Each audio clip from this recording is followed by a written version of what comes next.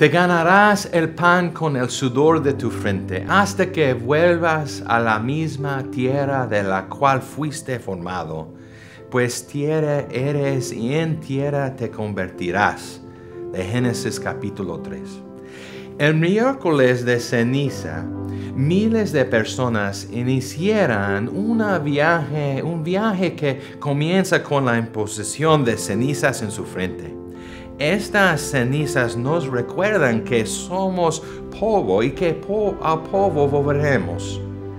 El miércoles de ceniza marca el comienzo de la temporada de Cuaresma, tiempo en el que muchas en la fe cristiana participan en un periodo de autorreflexión y disciplina renovada espiritual para prepararse para la Pascua estamos marcados con cenizas en forma de cruz como un recordatorio de, que nuestra vida humana es defectuosa y que finalmente llegará a su fin. El miércoles de ceniza nos recuerda que seguimos a un Señor que murió por nosotros y no solo por nosotros, sino por el mundo entero.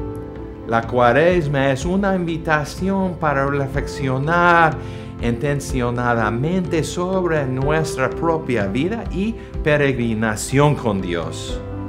Durante la cuaresma reconocemos nuestros pecados, nuestra completa incapacidad para sanarnos a nosotros mismos y humildemente pedimos perdón a Dios y a los demás durante esta temporada de cuaresma, como su obispo los invitó a ser intencionales acerca de decir no a conductas que les impiden profundizar su relación con Dios y con otras personas y adoptar un nuevo hábito santo que trae vida al mundo.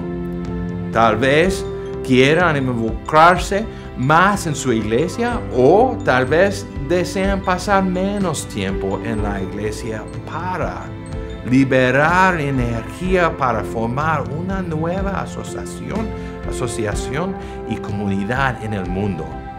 Tal vez el compromiso de estudiar un libro en particular de la Biblia o un tiempo para la oración diaria puede, puede apoyar su viaje.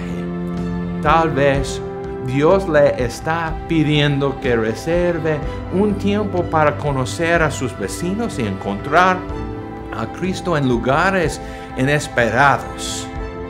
Todo lo que elijas, recuerda, eres polvo y si pero y si pero que es profundamente amado y amado ante los ojos de Dios, polvo que está siendo remodelado en algo tan hermoso y santo que apenas podemos